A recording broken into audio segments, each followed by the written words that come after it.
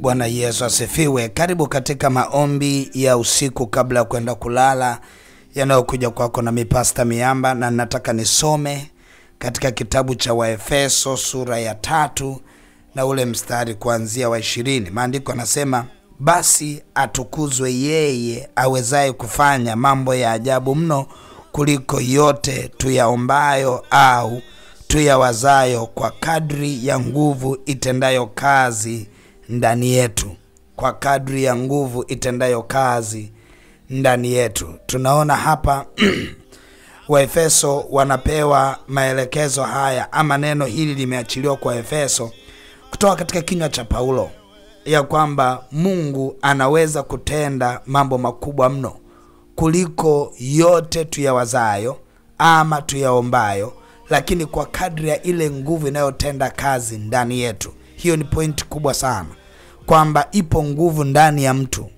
Kuna mambo kadha wa kadha yanayoongeza nguvu ndani ya mtu. Unaposoma neno la Mungu unapata nguvu ya Mungu ndani yake, kwa sababu lile neno ni roho, tena ni uzima. Unapoomba unapata nguvu ndani yako, kwa sababu unapoomba unajiungamanisha na Baba. Unapolitafakari neno unapata nguvu ndani yako, kwa sababu kutafakari kuna nguvu, kwa sababu maandiko yanasema kitabu hiki cha Torati kisitoke kinywani mwenu, yatafakarini maneno yake mchana na usiku. Anasema mpate kuangalia kutenda sawa sawa na yote aliyoandikwa humo, maana ndimo mtakapostawi na ndipo mtakapofanikiwa sana. Angalia, kuna nguvu. Sasa mambo hayo yote pamoja na mengineyo, kama kuacha dhambi, mengineyo kama utoaji, kumtolea Bwana sadaka, kuachilia fungu la kumi kwa uaminifu na kujiungamanisha kwenye ibada za namna hii, kunaachilia nguvu katika ulimwengu wa roho. Sasa ile nguvu ndio inayokupa ushindi. Ushindi wa wewe usiku wa leo kuto kusumbuliwa na nguvu za giza unatokana na ile nguvu utakayoipata au nguvu inayoendelea ndani yako. Kama umesikiliza ibada zote, mfano wewe kwenye madhabahu yaanza siku na Bwana. Saa tisa, ile ibada ya saa tisa umeisikiliza na umefuata yote yaliyosomwa mle, ukaja ibada yaanza siku na Bwana. Yote umeisikiliza vizuri kabisa, ukaja lunch time na Pastor Miamba naye umeisikiliza vizuri, na ibada hii kabla ya kwenda kulala naye umesikiliza vizuri. Hizi ibada tayari zina nguvu kubwa sana, na hii nguvu iliyoachiliwa kupitia hizi ibada inakaa ndani yako. Kwa hiyo chochote kile adui atakachotaka kukugusa, ile nguvu inaonekana. hayo, hawezi ukapata shida, hawezi ukakabwa, hawezi ukaumizwa, hawezi ukaletewa shida yote katika ulimwengu wa roho, kwa sababu ile nguvu lakini hapa maandiko anasema ye Mungu pia anatenda kazi ndani yetu kwa kadri ya nguvu inayotenda kazi ndani yetu. Yeye ana ile nguvu ya Roho Mtakatifu ndani yetu, ndio anapitisha na yeye mambo yake Mungu katika maisha yetu, anapitisha program zake.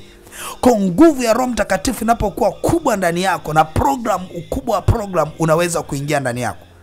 Ni kama vile ambavyo tunaona mtu mwingine ana simu ambayo ina ina ina space ndogo, yaani ukisikiliza tu anza siku na Bwana ya kwanza inabidi udelete ili uweze kudownload anza siku nyingine na Bwana nyingine, kwa sababu haziwezi kukaa mbili, ka space ni kadogo.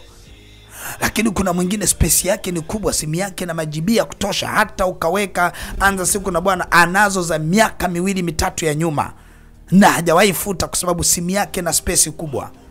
Kwa hiyo hata nguvu ya ile simu inaweza kufungua haraka zile zile zile programs mbalimbali, inafungua haraka kwa ajili ya ukubwa na nguvu ya simu. Kwa hiyo vile vile katika ulimwengu wa roho, vile unavyokuwa na nguvu ndani yako na vile ambavyo ile nguvu inazidi kuwa kubwa, unazidi kuwa na uwezo wa kuhifadhi mambo makubwa ndani yako. Kwa hiyo lazima ujue unatakiwa kufanya nini. Hicho ndio kitu kikubwa. Unatakiwa kufanya nini katika maisha yako? Unatakiwa kufanya nini? Namba moja, kuongeza nguvu ndani yako kwa kufanya yote niliyoyasema kwa mfano wake: kusoma neno, kuomba, kutoa sadaka, kujiambatanisha kwa ibada hizi, kwa sadaka zako, kuzisikiliza ibada hizi, kushika maandiko, kutafakari na mambo mengine kadha wa kadha, ambayo kwa ujumla wake analeta nguvu. Hicho ndicho cha muhimu, kwa sababu mambo mengine yote Mungu anayapitisha kwa kadri ya nguvu inayotenda kazi ndani yako. Yaani ni kama vile mtu unavyoenda unavyoenda uh, sokoni kapu lako ndio litakalo kuwezesha ubebe vitu kwa kiwango gani. Hata hata kama una hela nyingi kiasi gani, lakini chombo kile ulichokiwekea kikijaa, kimejaa.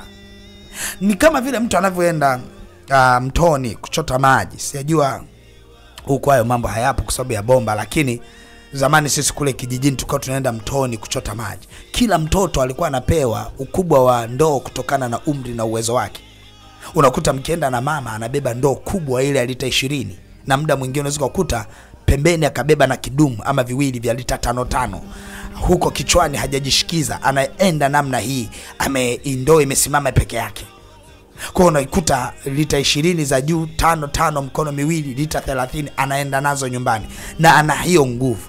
Mtoto anayefuatia anabeba lita ishirini. Anayefuatia anabeba ndoo ya lita kumi na tano. Anayefuatia anabeba mpaka yule mdogo kabisa anabeba kakidumu ka lita mbili. Imradi tu kila moja kwa kadri ya nguvu yake apate namna ya kuenda kubeba hayo maji. Na ndivyo hivyo hata mafuta roho mtakatifu yanavyomiminika ni kwa kadri ya nguvu ile nguvu yako ndogo unapata kitu kidogo, nguvu yako kubwa unapata kitu kikubwa. Na ndio maana maandiko yanasema roho yako ikizimia ndani yako, ukizimia, nguvu zako ni chache. Nini maana yake? Kuna uwezo ambao mtu anakuwa nao kuna namna ambapo hata katika masuala ya maono, vile unavyokuwa connected, unavyojiungamanisha na nguvu za Mungu, ndivyo unavyoona zaidi. Hauwezi ukaona wakati hauna nguvu. Nguvu ndio inayosababisha uone, na ndio maana kwa watu ambao uh, tunaona, mnaelewaga, mnaelewa nikiongea hivyo, nguvu za Mungu zikipungua, unaanza kuona kwa kufifia, na nguvu za Mungu zikion, zikiongezeka, unaona kwa uwazi zaidi hata message unazozipata kwa ajili ya watu wengine ama kwa ajili yako zinakuwa ziko clear kabisa, accurate, hazina yani ni sahihi, hazina hazina chenga, hazina hisia hisia. Eh? Maanake kuna watu unakuta ana hisi tu, yani. Mungu amesema hiki, lakini ni hisia, yani vile anavyoona, yani akili yake anavyomtuma ndio anasema Mungu, lakini kumbe mambo ya rohoni ni dhahiri kabisa dhahiri kabisa, yani moja ni moja, mbili ni mbili. Hakuna kusema hii imekaa hivi, no, no, no. Lakini ni kwa kadri ya nguvu inayotenda kazi ndani yako. Ni, ni, ni, ni maombi yangu kwa Bwana aachilie nguvu ndani yako, ile nguvu inayotenda kazi, akupe nguvu ili upate kutembea katika nguvu za Mungu, na baada ya hapo uweze kutembea katika ishara, ajabu na miujiza. Taka niombe. Baba Mtakatifu, asante kwa ajili ya neno la ushindi uliloliachilia la watoto wako kabla hawajaenda kulala. Ninakushukuru kwa maana umesema na mtoto wako, umesema na moyo mmoja wa mtoto wako. Mungu liye haya, ninaomba kibali chako cha uweza na nguvu kidhihirike, na nguvu zako ziendelee kuongezeka kwa mtoto wako huyu kila siku itwapo leo. Ninaomba Roho Bwana, hata mtoto wako anapoenda kulala, mtegemeze kwa nguvu zako, achilia nguvu zako, achilia mafuta yako. Roho Mtakatifu, achilia ushindi ndani yake, iachilie nguvu, iachilie ushindi ndani yake. Roho Bwana, endelea kusema na maisha haya, yajaze nuru yako, maisha haya yatembee kwenye ushindi wako. Roho Mtakatifu, umesema nasi ya kwamba ni kwa kadri ya nguvu inayotenda kazi ndani yetu. Roho Mtakatifu, ninaomba nguvu yako iendelee kuyafunika kuya, kuya- kuyafunika maisha haya. Nguvu zako ziendelee kila siku itwapo leo. Watoto wako hawa na mtoto wako huyu aendelee kuhudumiwa kila siku. Baba, nalibariki na kuliinua jina lako. Asante kwa wema na uaminifu wako. Sifa, heshima na utukufu vyote ni vyako katika jina la Yesu. Ninamfunika kwa moto wako mtoto wako huyo anapoenda kulala, adui asimpate. Namfunika mtoto wake au watoto wake na familia yake kwa moto ile nguvu yako Roho Bwana imfunike na ulinzi ukawe dhahiri katika jina la Yesu Kristo wa Nazareti. Amen, amen, amen. Basi unaweza ukaikamilisha ibada hii kwa sadaka. Unaweza ukaiachilia sadaka yako kwenye ile lipa namba ya M-Pesa ambayo ni 57 78 76 0 au kwenye namba 0713 84 21 23 au 0625 95 30 30. Mungu wangu akubariki na uwe na usiku mwema. Amen.